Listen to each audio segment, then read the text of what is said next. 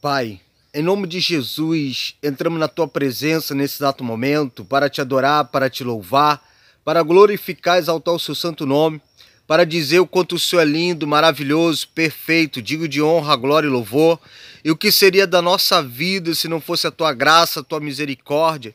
E é por isso que estamos aqui nesse exato momento, que não importa a circunstância, a luta, a humilhação, a perseguição, a dificuldade, as lutas dentro de casa, as lutas, meu Pai, no dia a dia para vencer um gigante após o outro, as portas fechadas, a perseguição, a calúnia, a luta.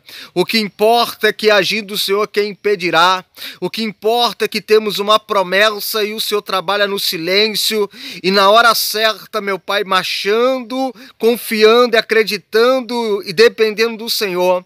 Na hora certa o milagre vai acontecer. Na hora certa o Senhor vai dar a última palavra. Na hora certa o Senhor vai nos arrancar de todo o cativeiro e vai mudar a nossa história, porque em ti confiamos, em ti dependemos e em ti sabemos que o milagre vai chegar na hora certa e no momento certo, porque o Senhor é general de batalha e agindo o Senhor quem impedirá.